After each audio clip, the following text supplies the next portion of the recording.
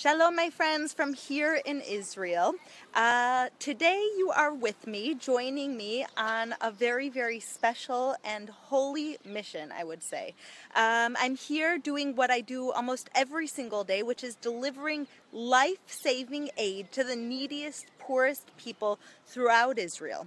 I'll tell you a little bit about the International Fellowship of Christians and Jews, which my father, Rabbi Eckstein, started 30 years ago.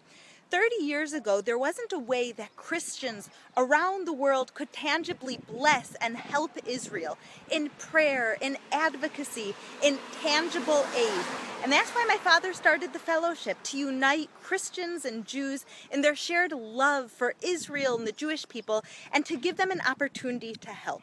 Now, the fellowship throughout Israel has over 450 projects. We're the largest philanthropic organization in all of Israel. And how awesome is that? That it's Christians and Jews outside of Israel who are helping Israel more than anyone else in the entire world.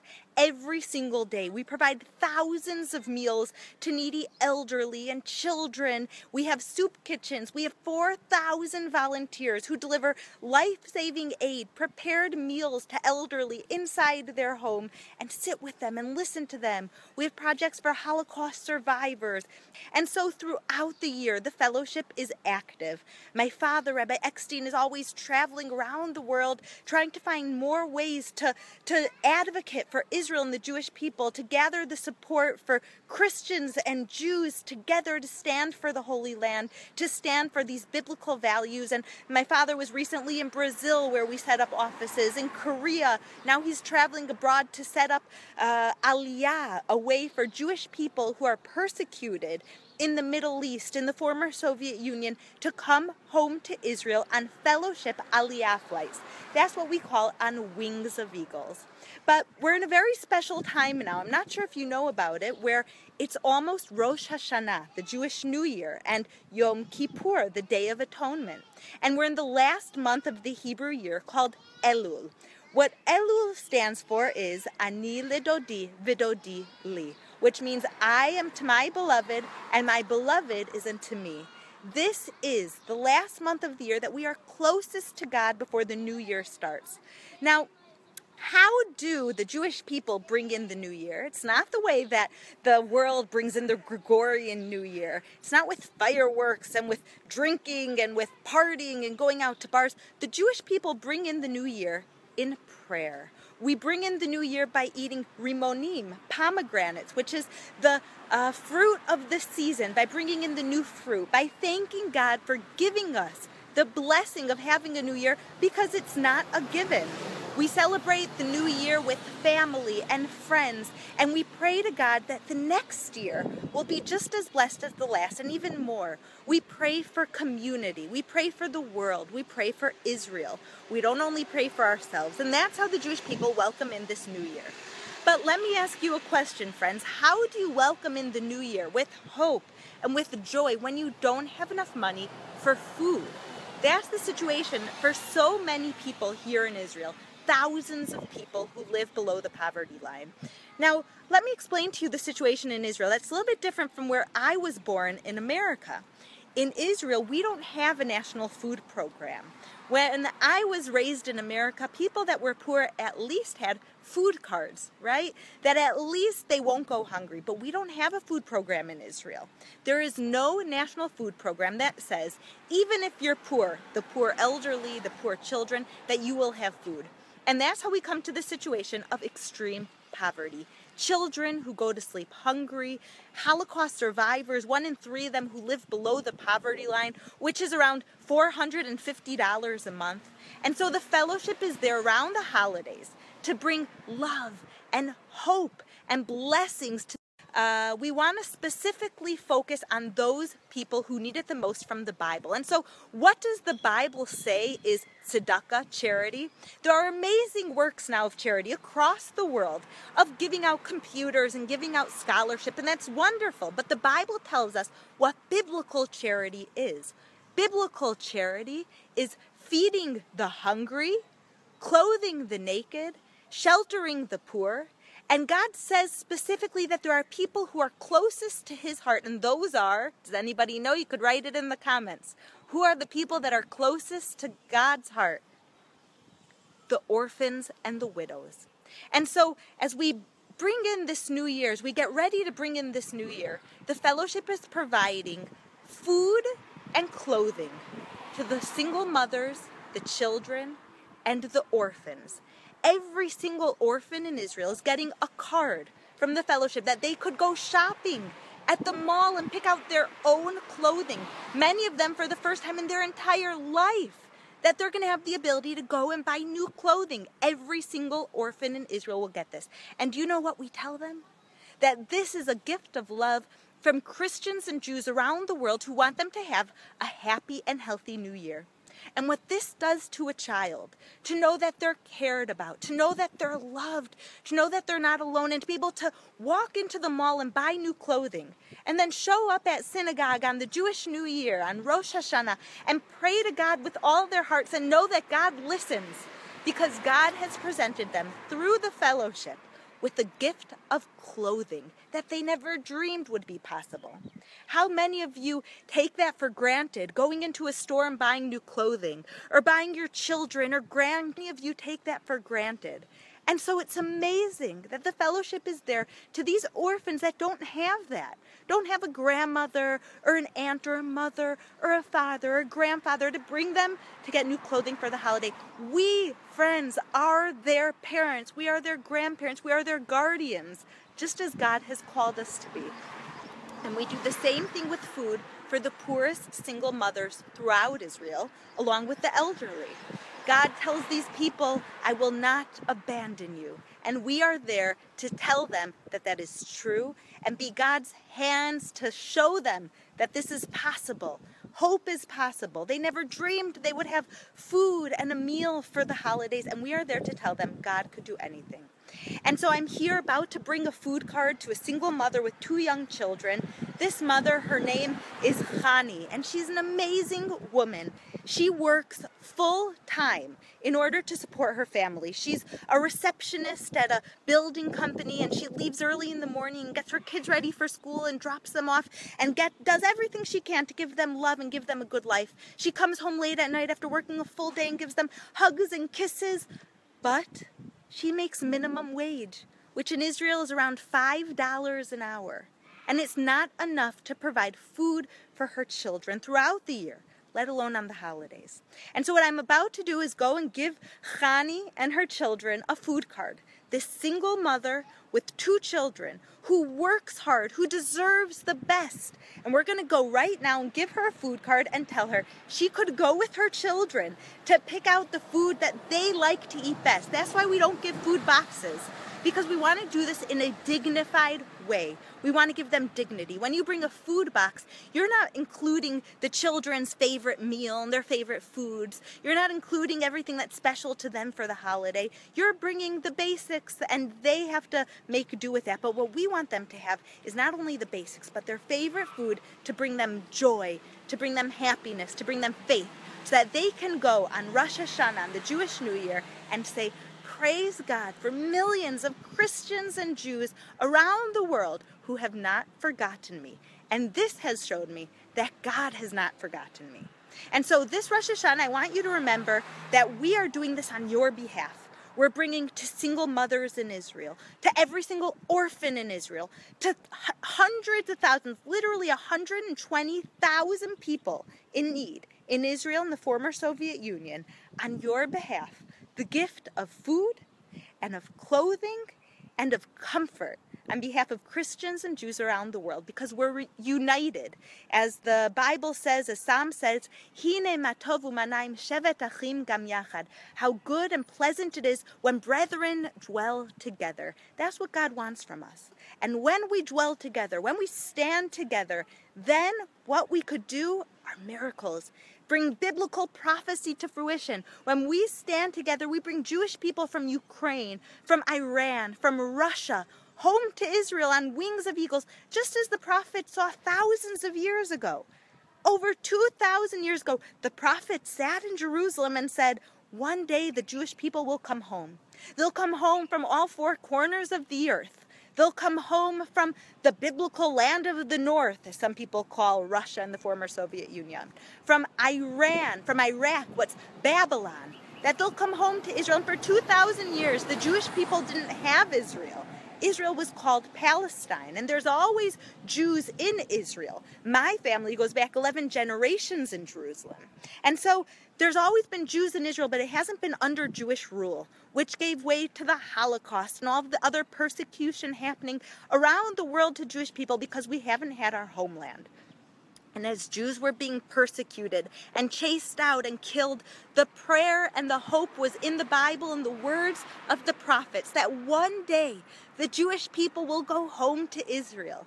And we had to hold on to that with faith because we looked around at world events and there was no such thing as Israel. Israel wasn't safe for the Jews. Israel was under Arab rule and there were lots of different killings and things happening that persecuted the Jews even in Israel. But we held on to the words of the Bible, held on to the words of the prophets that the Jewish people will be reunited with the land. And this, my friends, is biblical prophecy coming to fruition. I'm standing here in Israel. I have four children born in Israel. Imagine what the prophets would say about that. And we're living here surrounded by enemies, but we're living in peace because the guardian of Israel neither slumbers nor sleeps. lo yanum velo yishan shomer Israel. We raise our eyes up to the heavens. From where does our salvation comes? It comes from Hashem, maker of heaven and earth. And that's why we are here. That's why the fellowship exists. Because when Christians and Jews come together in shared values, in unity, in love for God, when we come together, biblical prophecy comes to fruition. And so, as I said, the fellowship is giving out, distributing over 120,000 aid, pieces of aid to Jews in need in Israel and in the former Soviet Union. To every single orphan in Israel, we're providing clothing. To single mothers, the poorest single mothers, we're providing food.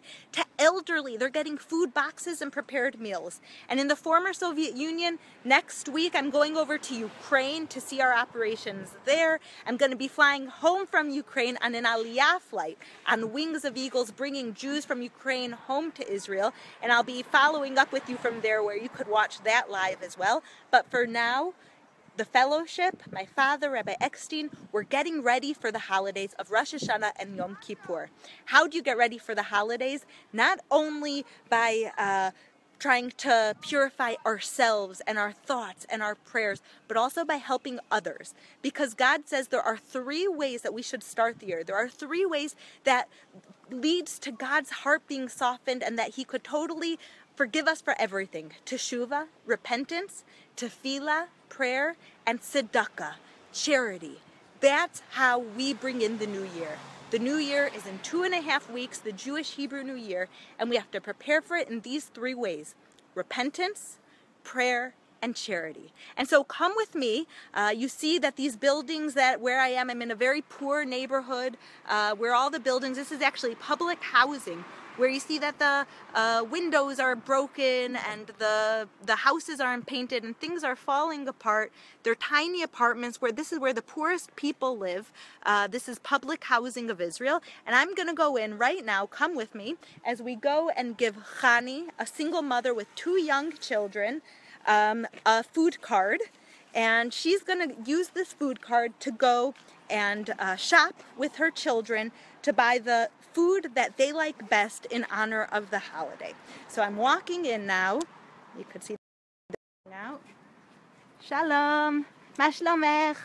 Good evening. How are you doing? Good evening. Good evening. We're we're live here on Facebook with Jews and Christians who love Israel and who are helping Thank the people of Israel. Much. Thank you very much. What's your name?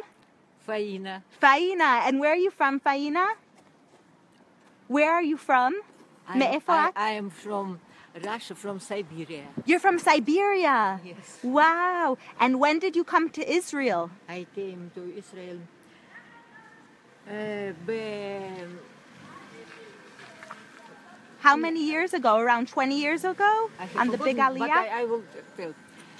In uh, 1999. In 1990. And how is it in Israel? How do you like it in Israel? Oh, all my children are here and all my family is here. Of course, we like. You are blessed. And so you must be a Holocaust survivor also. Were you in Siberia during the Holocaust? What do you want to, ask Dur- me? I- during the Holocaust, were you in Siberia still? what is Ah, Holocaust? Yeah. Oh, During World War II? Uh, when there was Holocaust, I was a little child, and I was, I was born in Ukraine, and I was living in Kharkov, Ah. in Kharkov, and from Kharkov we went to Stalingrad, which is on the Volga, Uh-huh. and after that we came to Siberia. Wow. And so you were running away from persecution during the war. Uh, wait, repeat- You you you had to escape because it was dangerous in Ukraine during the war. Is that we why you escaped only because of the, fact that my father was working on the in the, at the factory which made the um, tractors. Tractors. Ah, so and these wow. tractors was uh, decided to make uh, tanks on Volga, and they went to Stalingrad, and. Why, it is very difficult to speak about these events. I can't speak about this. And only because of it we are alive. because of what? Because of the work that he was doing on the tractors. It's a story of miracles. It sounds like God was with you. Oh, I don't understand you. What God- did you say? That God was with you. It was on miracles that you survived. It's a great miracle, of course. It's a miracle because many people wanted to leave Ukraine. It was impossible. There was no transport, and if there was no transport, the people couldn't escape Ukraine in 1941 in June. You're from television. I this is this is people all across the world who love Israel and who want to see what Israel is like. And now they got to see now you got to see friends what Israel is like. These are the heroes that Israel is made up of. A hero of Israel. Can we get some uh, hearts for her? Can we get some hearts across the screen for this hero of Israel?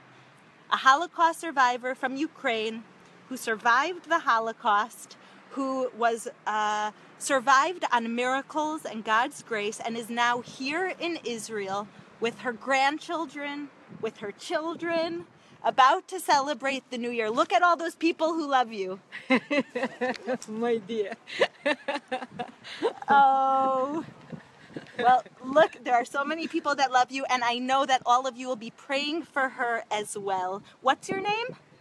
Faina. Faina. Pray for Faina that she should be healthy and happy and strength this new year, this new Jewish year. Uh, people like, do you, have you ever heard of Hakeren Liadidut?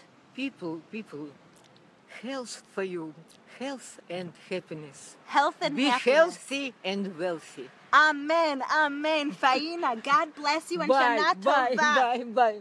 Shana Shana Tova. And we're going to go now. We're going to help. There's a single mother who lives here. We're going to go help her with food for Rosh Hashanah. A good idea. Yeah. Very good idea. God bless you, Thank very Faina. much. Thank you.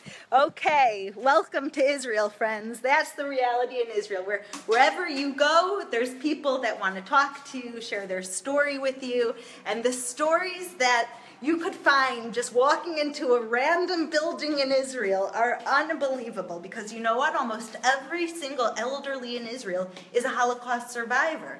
They came from Germany or Ukraine, and so every single elderly here has a story just like Faina had. And that is why, imagine Faina not having enough money to buy food for the Jewish New Year. Well, one in three Holocaust survivors, that's the situation for them. And that is why the fellowship is giving food to these Holocaust survivors, to these elderly, with your help in Israel, and those Holocaust survivors who aren't as lucky and blessed as Faina, who are stuck in the former Soviet Union still. They need our help. And so there's a link on this video. I want you to go and tell Faina and people like Faina, we love you. We want you to have a happy and healthy new year. And here is a uh, gift of love from Christians and Jews who love you. Now we're going to go on from the Holocaust survivor and elderly to the single mother named Khani. So let's see. All right. We just, one second. All right, we're waiting back on you. Hi. Hello, מה שלומך? אנחנו פה, we're here with uh, the card for the holidays, for Yes. Rosh Hashanah, and we Thank wanted you. just to say hello to you Hi. and wish you a happy new year. Hi, Happy New Year. and just to tell you how many people love you Um, and are ev- praying for you. and- Everybody, I say thank you. Thank you for family, from the children. And uh, you give me surprise. Thank you. Very, very thank you. It's our pleasure and our blessing. And this is going to, with this card, you could go with the children and buy whatever food they want for Rosh Hashanah, whatever food they thank want for you. the new holiday. You could make them their favorite meal. And I, we know that you work very hard. You just got back from work. Thank. and we're here with you, and we love you. We want to just wish you a very happy new year. Shana Tova. Shana Tova. Yonatan. I'm going to show you an adorable boy. Ben Kama who Ben Shesh. This is a six year old boy who you are helping, can help, is adorable. His name is Jonathan, Yonatan. Yeah. And this is Khani, the mother. Look at all those hearts across the screen. Those are all the people that love you. אתה רואה את כל הלבבות? זה אנשים שאומרים שהם אוהבים אותך. Right? He's cute. I just explained to him in Hebrew that all the hearts and smiley faces are people תגיד that love him. תודה רבה. תודה רבה. He said, Thank you שנה so טובה." much. שנה טובה. and a happy new year. All right, friends, this has been amazing. I'll continue to do this at more places throughout Israel, just as I've promised. And I encourage you, with your help, we could meet, reach even more people like Faina, the Holocaust survivor, like Khani, like Yonatan. There are Jewish people here in Israel who want to celebrate Rosh Hashanah in a positive, happy way, and you could be part of that. So pray and act. And tune in soon. I'll be doing more videos. I love you all. Thank you for all of the hearts. They're making me really happy. I don't know why virtual hearts are making me happy, but they really are. So thank you. And God bless you all. Shana Tova, Shana Tova. Happy and healthy New Year. And thank you for joining from here in Israel. Shalom.